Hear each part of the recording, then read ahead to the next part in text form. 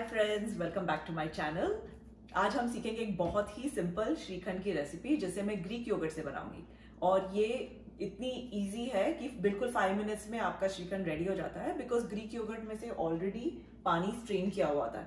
So all we are going to do is इसको beat करके चीनी डालकर केसर का दूध और बादाम पिस्ता इलायची डालते तो ठीक है तो ये बनाने के लिए कोई भी ग्रीक योगर्ट ले सकते हैं। इस, इधर मेरे पास होल मिल्क प्लेन योगर्ट था। आप हनी का भी ले सकते हैं। अगर आप हनी का ले रहे हैं तो वो प्री स्वीटेंड होता है। तो उसमें फिर चीनी कम डालना, या फिर वनीला फ्लेवर्ड का भी रहता है, जो ऑलरेडी स्वीटेंड रहता है। तो फिर उस हिसाब से चीनी आप एडजस्ट कर सकते हैं। बट ये अनस्वीटेंड प्लेन ग्रीक योगर्ट है। तो इसमें अराउंड वन कप योगर्ट है। ठीक है? तो बिकॉज़ ये श्रीखंड है तो इसमें चीनी थोड़ी सी ज़्यादा डलती है। अगर आप कम खाते हैं तो कम डाल सकते हैं। मैं इसमें अराउंड फाइव टी चीनी डालने वाली हूँ।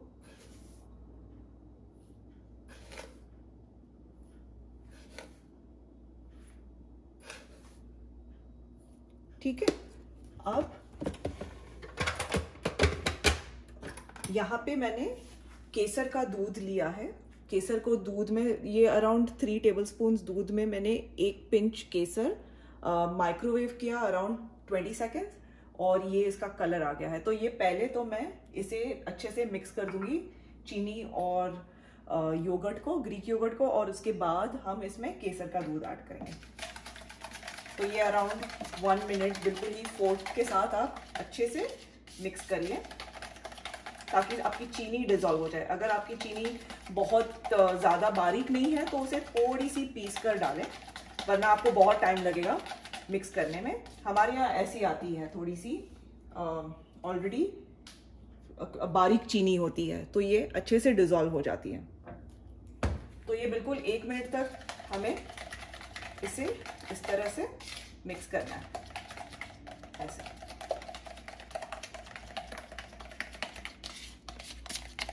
और ये बिल्कुल वैसे ही टेस्ट आती है, जैसे आप श्रीखंड को पूरी रात जैसे एक मसलिन क्लॉथ में डाल के आप वो, उसका पानी निकाल कर जैसे बनाते हैं, वो बिल्कुल सेम फ्लेवर आता है। कोई भी डिफरेंस नहीं होता तो आप ज़रूर ट्राई करके देखना ग्रीक योगर्ट की श्रीखंड। और ये सिंपल भी है तो अगर आपको कभी भी खाना हो तो आपको नेक्स्ट डे तक वेट नहीं करना पड़ता, ये इजीली बन जाता। है तो देखो, अभी ये जैसे मिक्स हो रहा है तो वो ग्लिसन होता है और वो स्मूथ भी होता जाता है सारा योगर्ट उसमें मिक्स होकर।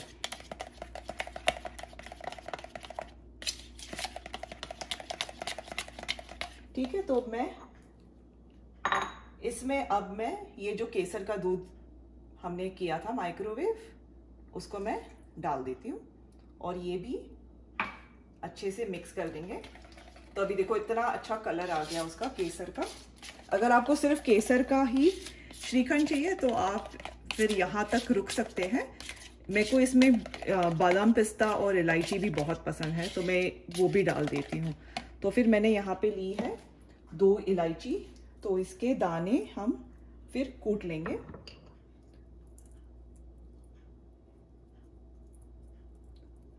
और मैंने यहाँ पे आ, केसर और सॉरी पिस्ता और बादाम काट कर रखा हुआ है।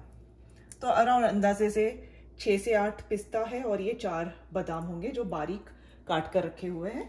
तो बस ये सारी चीज़ें हम इसमें डाल देंगे और ये हमारा इंस्टेंट केसर पिस्ता बादाम और इलायची का श्रीखंड। तो जैसे ही ये बन जाता है ना बेस आपको सिर्फ़ इलायची का चाहिए तो सिर्फ़ इलायची कूट कर डाल सकते हैं। सिर्फ़ केसर चाहिए तो सिर्फ़ केसर, इसमें मैंगो भी बहुत अच्छा लगता है। और मैंगो डाल रहे हैं तो अगर स्वीट मैंगोज है तो अगेन शुगर आप कम डालिए। और मैं तो सारा केसर, इलायची, बादाम पिस्ता, ये सारा मिलाकर भी बहुत ही टेस्टी बनता है। ठीक है तो ये हमने अच्छी तरह उसे मिक्स कर दिया है। और ये जैसे आप रखेंगे ना तो वो केसर का कलर और भी अच्छा आएगा उसका। तो मैं एक बोल में निकाल लेती हूँ।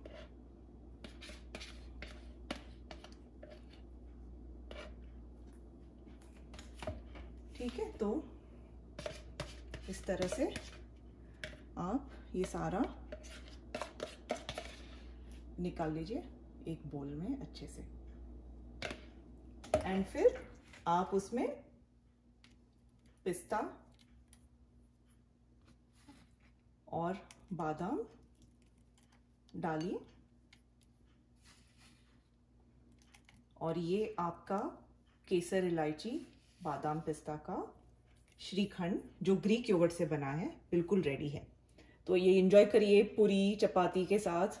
तो देखा कितना इजी रेसिपी था ये हमारा।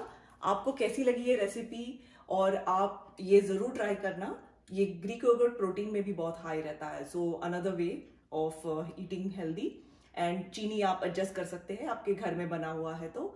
तो आप ये ट्राई करके मुझे ज़रूर बताना और आप और कौन से फ्लेवर्स के श्रीखंड बनाते हैं, मुझे कमेंट सेक्शन में ज़रूर बताना। और मेरे चैनल को लाइक और सब्सक्राइब करना ना भूलना। Till then take care be safe have fun bye bye